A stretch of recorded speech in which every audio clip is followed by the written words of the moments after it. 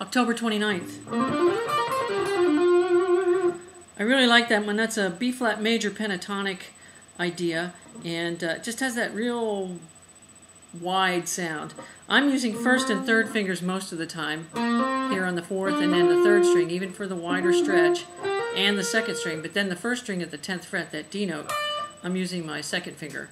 Uh, you could use little finger um, and use your third finger on the first string. Either way, I don't know, it's just kind of, I don't know, I like it that way better.